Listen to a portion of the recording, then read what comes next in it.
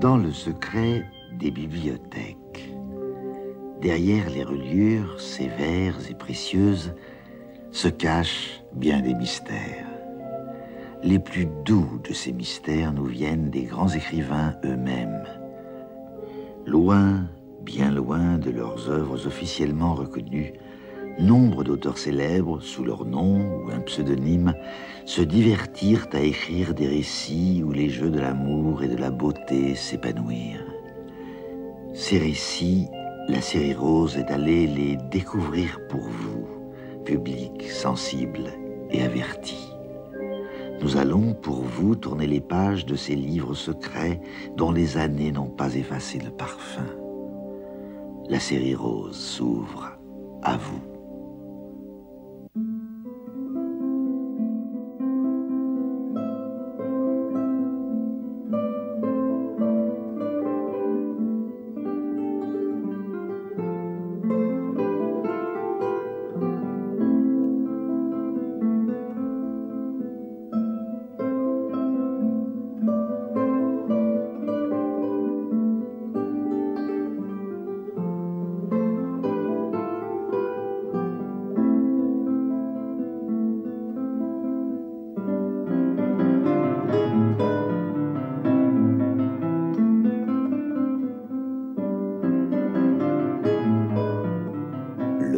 11 avril 1584.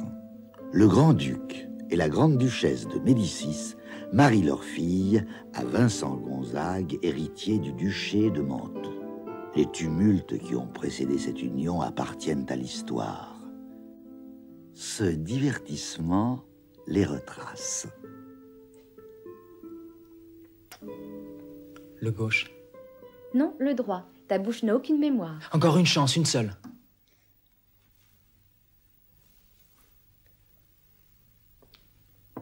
Le droit. Non, le gauche. Bravo. Soyez prudent. Je viens de croiser la Bianca, elle est ivre de rage. Mais qu'a donc son Altesse? Voici trois jours qu'elle ne décolère pas. Tu n'es pas au courant? Au bal masqué du prince Lavesco, un galant l'a repoussé. Il n'a pas craint sa fureur. La vieille bique était masquée, il ne l'a pas reconnue. Qui vous a raconté ça? J'étais présente. L'ardeur du cavalier, j'en ai profité juste après. Qui était-ce? Sous le masque que j'ai cru reconnaître, Vincent Gonzague. Le fils du duc de Mantoue? Lui-même. Prince ou page mignon. Les hommes ont en commun un noble appareil.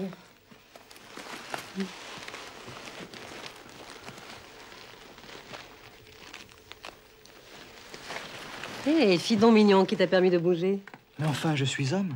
Jouvenceau de printemps, tout au plus.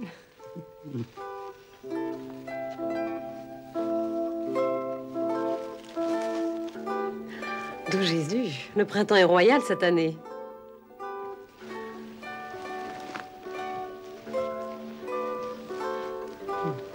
Bien, mignon, tu promets Ah, si je promets.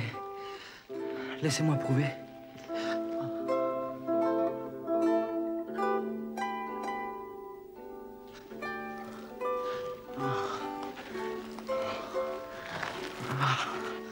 Ah, si vous continuez, ma nature suivra son cours. Ah. Oh, tant pis pour vous. Ton âge, on ressuscite à l'instant. Ah. Bien entendu, il s'agit là d'une clause accessoire. Son Altesse ne doute pas un seul instant que sa Seigneurie de Mantoue n'accomplisse glorieusement l'épreuve. Jamais Il suffit, Vincent. Poursuivez, Éminence. Je reprends. Sans mettre en doute la virilité du seigneur Vincent de Mantoue, mais pour couper court aux rumeurs. Nous, François de Médicis, grand-duc de Florence, protecteur des États du pape, demandons que le dit seigneur se soumette avant de lui accorder notre fille à l'épreuve du congrès, et qu'il fasse la preuve de sa puissance avec une vierge choisie par nos soins et surveillée par nous jusqu'au moment de la conjonction. J'ai dit jamais Silence, mon fils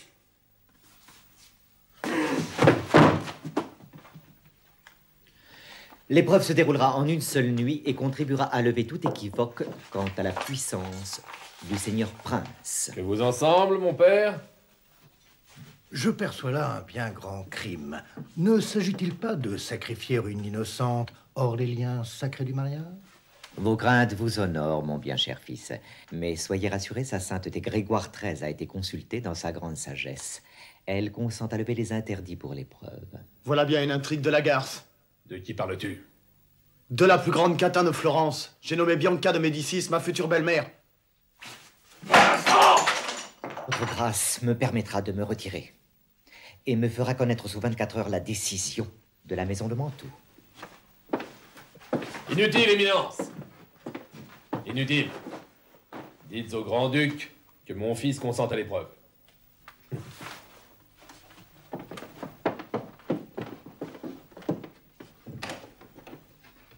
Éminence.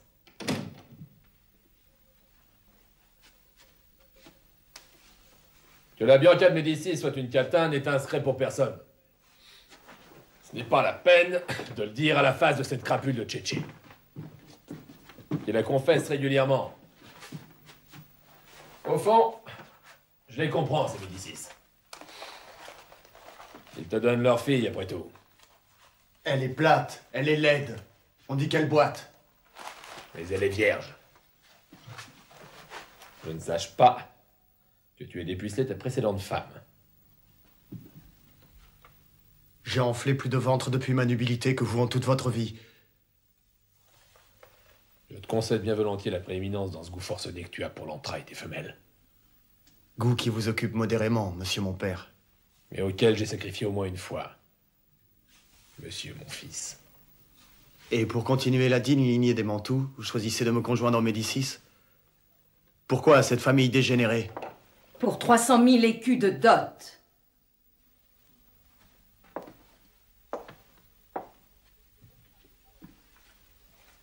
« 300 000 écus dont il te reviendra le tiers, assez pour garder ton rang et le nôtre par la même occasion.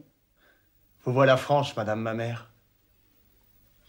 C'est assez bien payé pour me faire la risée de Florence et de toute l'Italie. Je vois une issue à cette épreuve contre nature. Dites, On avance que son Altesse le Grand-Duc de Médicis écoute volontiers sa femme, la Grande-Duchesse Bianca. Le barbe n'écoute pas, il obéit comme un tout. Si votre seigneurie consentait à présenter ses respects à la Grande-Duchesse, elle daignerait peut-être faire revenir le Grand-Duc sur sa décision. Il ne s'agit que de sacrifier à l'usage. Bianca de Médicis peut à bon droit se défier de vous, qui l'ignorez avec tant d'arrogance.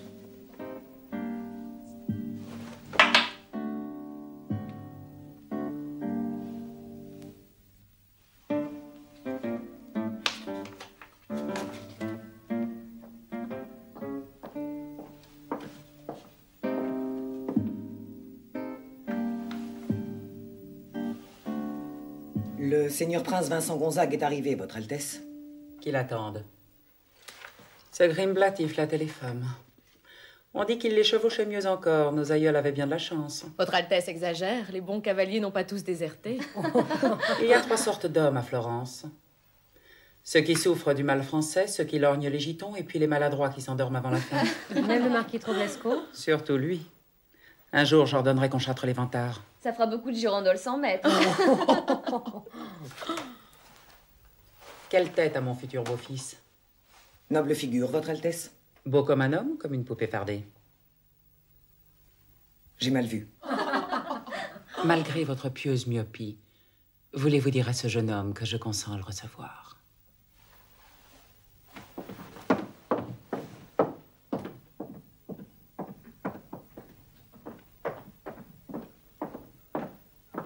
Sa Seigneurie Vincent Gonzague, chevalier de Mantoue.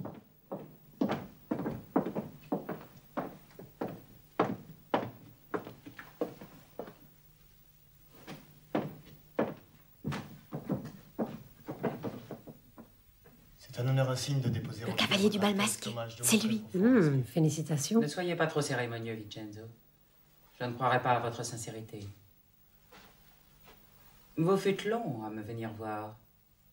Les éléments se sont ligués, Altesse, contrariant ma volonté. C'est bien dommage, joli fils. Vous permettez que je vous appelle mon fils, n'est-ce pas, puisque vous le serez bientôt? Peut-être. Je forme le vœu que bientôt aussi je pourrai vous saluer comme ma mère. Altesse convient très bien. Mais hormis le désir que vous aviez de me saluer, Que me vaut la grâce de votre présence? Presque rien, Altesse. Si je dois en parler, l'objet en est particulier. Très particulier? Très particulier, Votre Altesse.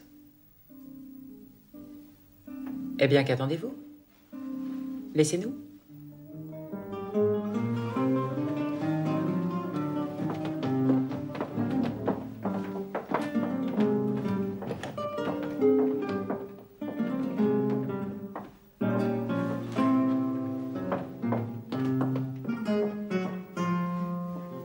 Poutre du Gonzague est comme on dit, va l'écarteler La Bianca, même un âne n'y suffirait pas. Au fait, tu l'as vu dans sa gloire, la vigueur du Gonzague Alors? Mais que fais-tu de ma pudeur? Ta pudeur? Oh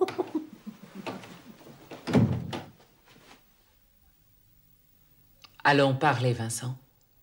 De quoi s'agit-il? De cette épreuve infâme que le grand-duc m'impose avant de m'agréer. Hélas, je m'en doutais. Allons au fait, Vincent. Il court à ton endroit des rumeurs déplaisantes. Bien que sa sainteté le pape ait daigné annuler ton mariage, les raisons en sont restées obscures. Oui, oui, je sais ce que tu vas me dire.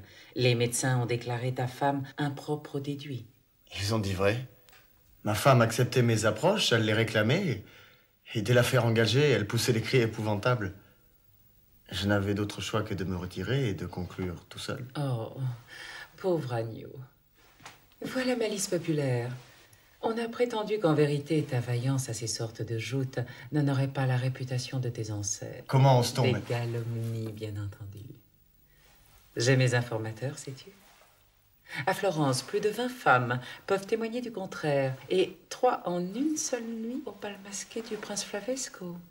Votre Altesse a d'excellents espions. J'accorde plus de crédit à une autre rumeur, qui avance que le ciel t'a favorisé plus que d'ordinaire.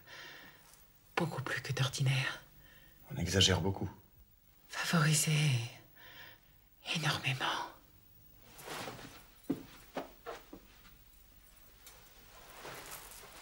Que penses-tu de moi, Vincent? J'ai pour Votre Altesse admiration et respect. Oublie l'Altesse. Que penses-tu de la femme? La beauté de la grande duchesse est immense. Beaucoup d'hommes l'ont prétendu. Beaucoup trop. Mais trop, ce n'est jamais assez. Assieds-toi là, jeune coq.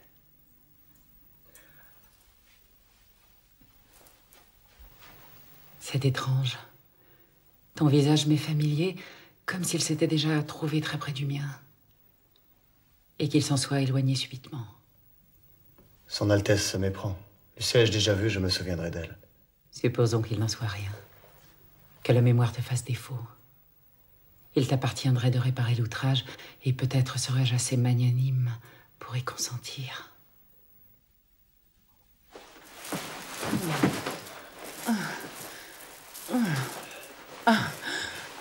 Je sens que l'esprit te vient. Le problème, c'est que ces maudits tailleurs vous rembourrent le vêtement et qu'il est impossible de voir l'artifice du vivant. Ah, éclaire-moi vite, jeune coq. Au fait, au fait, ah, dépouille l'arme de son oripeau. Oh, il n'aie pas peur, mon ange. Ah, le fourreau l'accueillera. Ah, il l'attend, il l'attend. Ah, ah.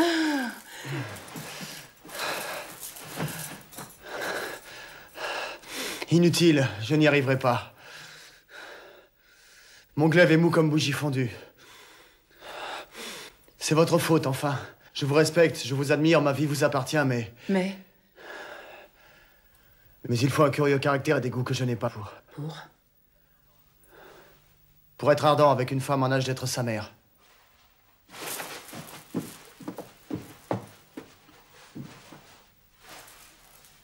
Vous pouvez vous retirer, monsieur de Mantoue.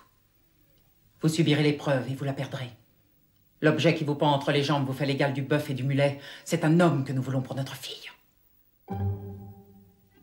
Et c'est ainsi qu'au mépris de la pudeur, de la morale et de la foi, cette scandaleuse épreuve du Congrès occupa la nuit du 23 février 1584 dans une chambre soigneusement gardée du palais des Médicis.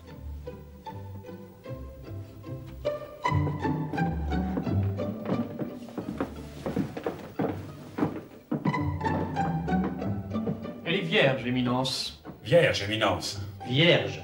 Parfait, parfait.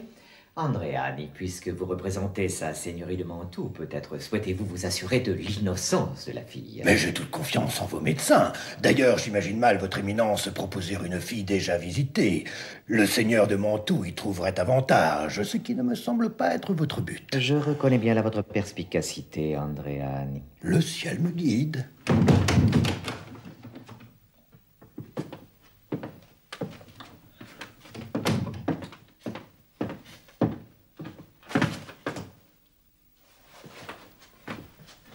Triste figure, mon bien cher fils. Seriez-vous mal? Un peu gris, mon père. Toute cette assemblée, et Florence qui m'attend, et ma famille, et sa sainteté à ce qu'on m'a dit. Alors j'ai bu pour me donner du cœur à l'ouvrage. Vous avez bien fait. Si c'était modérément. Où est la fille?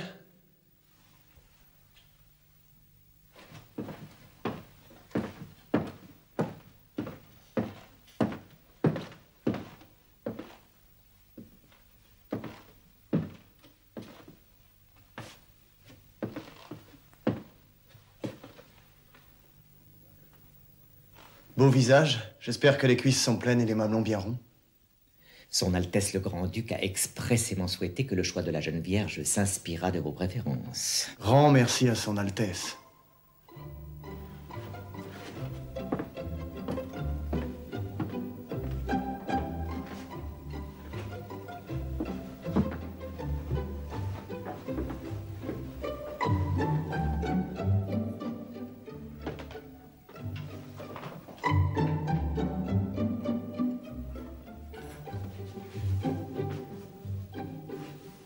Dites-moi, Éminence, cette clause du contrat qui avance que je ne dois pas user de mes doigts pour déflorer la fille, est-ce à dire que je ne dois même pas lui caresser la toison avant de la percer?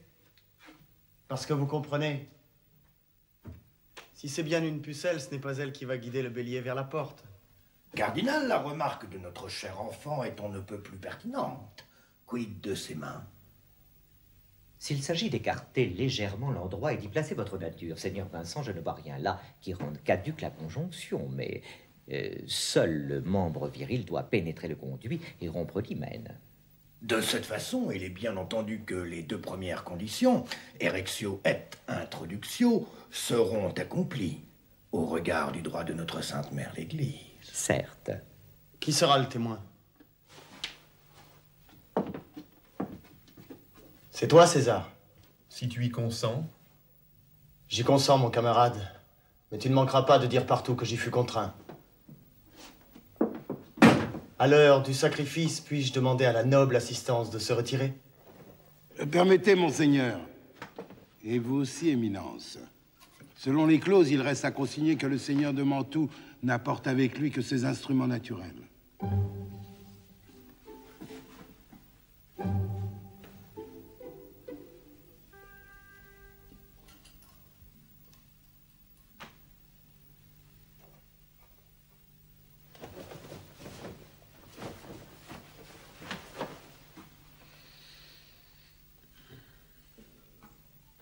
Le seigneur prince Vincent de Mantoue n'a avec lui que ses armes naturelles. Ses armes naturelles. Les pendeloques en sont régulières, pleines et rondes. Pleines et rondes. Le membre viril bien conformé Bien conformé. D'une taille excédant quelque peu la norme. Excédant beaucoup. Excédant quelque peu ou excédant beaucoup? D'une taille honorable. Enfin, la vigueur du seigneur prince semble aisément s'émouvoir. La vigueur du seigneur prince. Mais il suffit, imbécile, rayez cela. La maison de Médicis se déclare satisfaite et, si vous en êtes d'accord, nous pouvons nous retirer.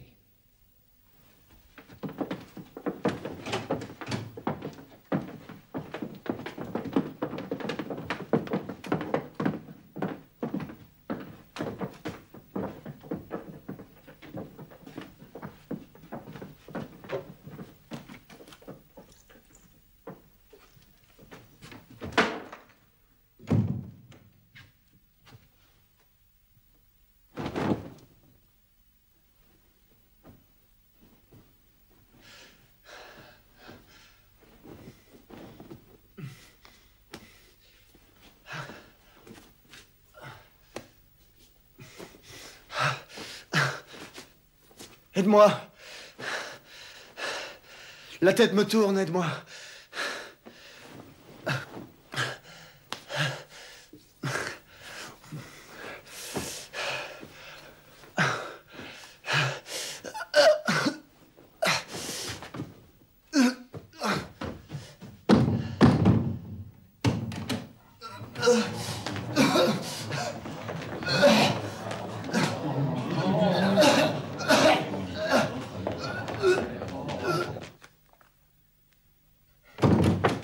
n'a pu, Votre Altesse,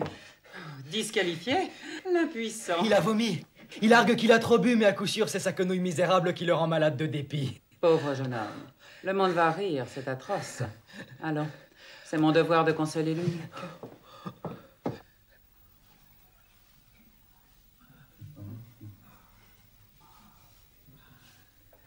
Qu'est-ce que c'est? Remède souverain pour votre mal.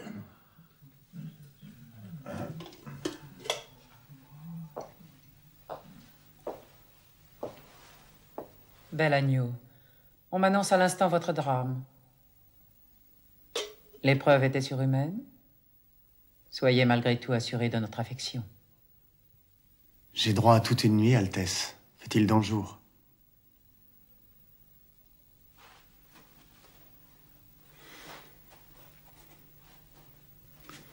Souffrez que je reparte à l'assaut. Ce bastion-là m'inspire. Gardez-vous bien, Vincent, et conservez en mémoire l'importance de l'enjeu.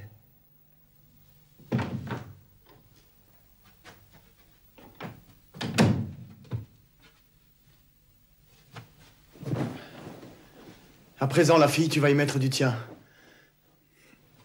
Ah, ne pleure pas.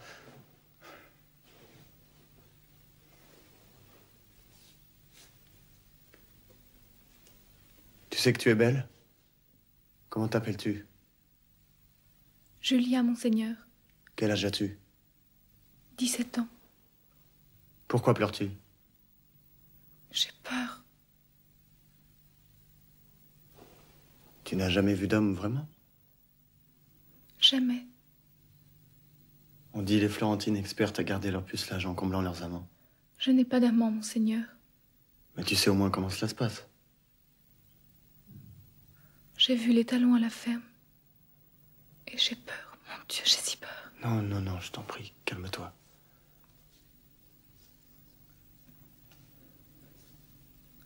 On t'a doté pour que tu acceptes? Oui, monseigneur. Combien as-tu reçu? Moi, rien. Mes parents, 3000 écus. Et les miens, 300 000.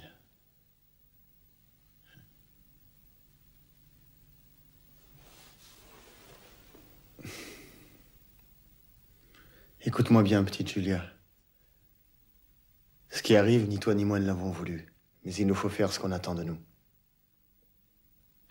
Ce n'est pas si terrible, au contraire. Quand je m'en donne la peine, on me dit un amant honnête et doux. Donne-moi ta main. Si les talons est ta référence, sois rassuré. Tu sens C'est pour toi qu'il piaffe les talonnés. Monseigneur accepterait-il de se dévêtir tout à fait?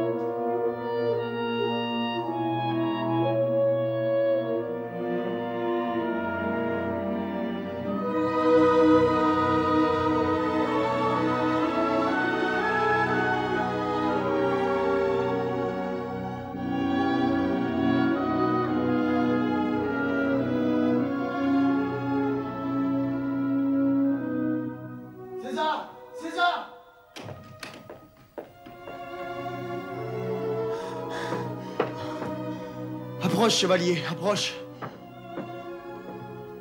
Constate par toi-même l'érection et l'introduction.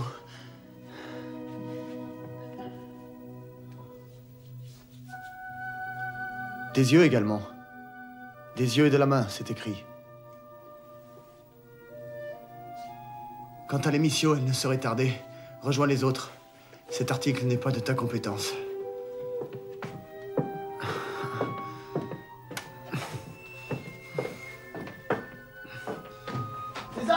Les médecins, les matrones, c'est fait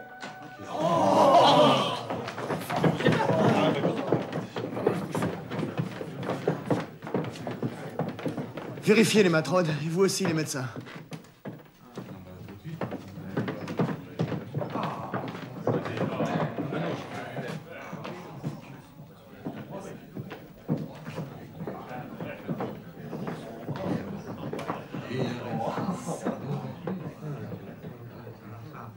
Du seigneur Vincent Gonzague, héritier présomptif du duché de Mantoue, est avérée en tout point sur la personne d'une vierge.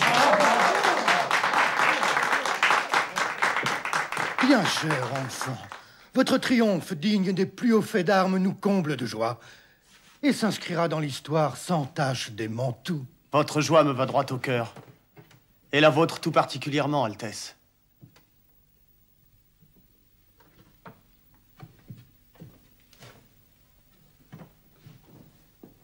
À présent qu'on me laisse.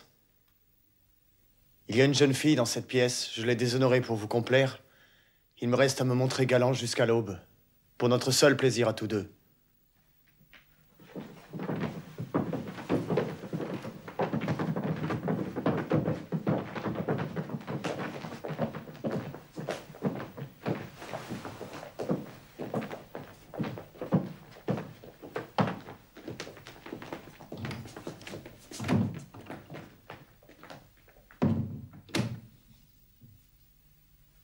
Jamais, petite Julia.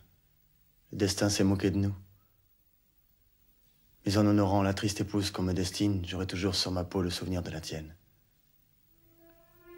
Veux-tu m'appartenir jusqu'au matin?